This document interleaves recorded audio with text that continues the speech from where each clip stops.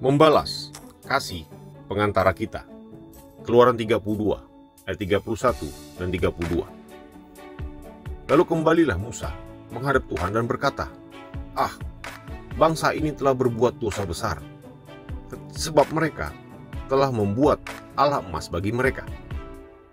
Tetapi sekarang, kiranya engkau mengampuni dosa mereka itu. Dan jika tidak, hapuskanlah kiranya namaku dari dalam kitab yang telah kau tulis."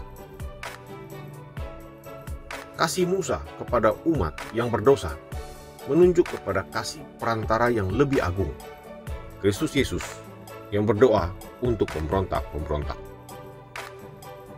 1 Timotius 2 ayat 5 Karena Allah itu Esa, dan Esa pula dia yang menjadi pengantara antara Allah dan manusia, yaitu manusia Kristus Yesus. Paulus menekankan keesaan Tuhan dan Kristus sebagai penebus untuk mengesankan bahwa bangsa manusia merupakan satu keesaan pula dan seluruhnya dibutuhkan Tuhan untuk diselamatkan. Kita harus mendekati Tuhan melalui Yesus Kristus saja. Bersandar pada kematiannya sebagai korban untuk menutupi dosa kita dan berdoa dengan iman, memohon kekuatan dan belas kasihan untuk menolong kita dengan semua kebutuhan kita.